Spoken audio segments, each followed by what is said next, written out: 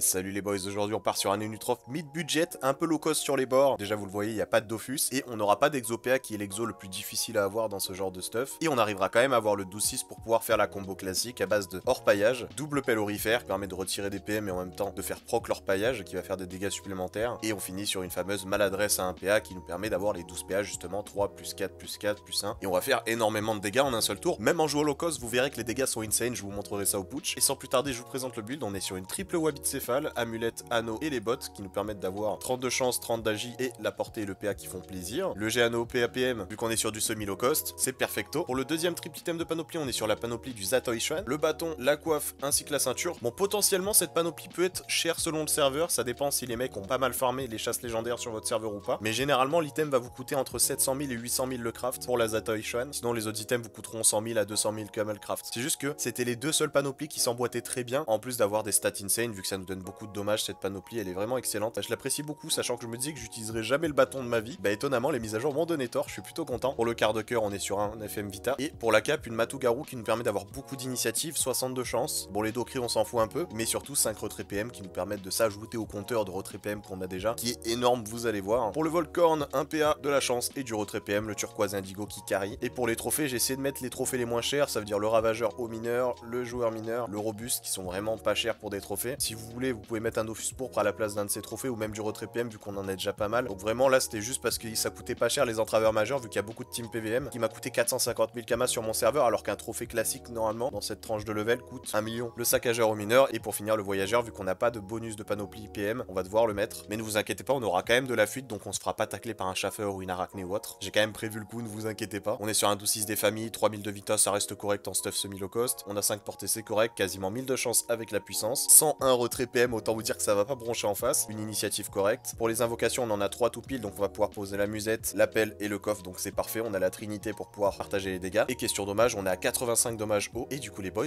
on va tester ça directement au putsch. Pour la combo, elle est très simple. Je vais faire la combo no boost et après avec des boosts pour le style. Donc là, on va faire hop, l'orpaillage, la double pelle orifère. Il faut que je me souvienne du nom, sinon je vais bégayer en vidéo. Voilà. Et on finit sur la maladresse. Et regardez-moi ça, les gars, on est à quasiment 2000 dégâts le tour en stuff low cost. Du coup, pour la version full boostée, on va poser un petit coffre. On va faire la double opportunité dessus. Pif, pouf, la cupidité, c'est possible qu'on puisse le placer en plus en combat ça.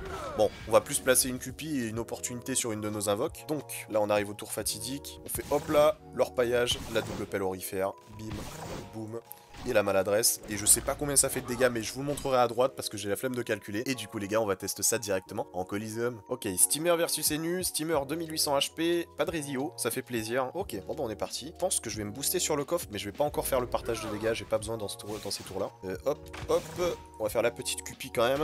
On n'aura pas trop le timing après. À lui de jouer. Euh, attends, on va poser le coffre ici quand même.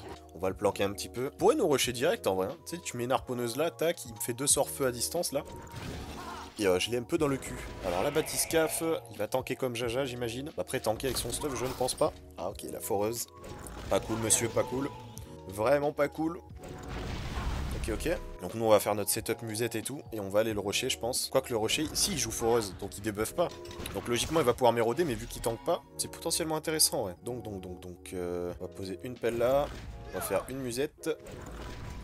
On va quand même se booster un petit peu plus.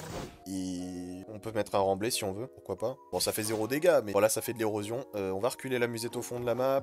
On peut avancer un peu la pelle. Euh, bah, bah, pas trop en fait. Non, non, bah non, on va juste mettre nos invoques là. Le coffre, on le laisse ici aussi. Après, le coffre, on aurait pu le faire rusher vu qu'il a plus de résistance que nous, mais je ne sais pas trop. Je ne sais pas trop. Ah, il peut taper mon coffre, fait chier.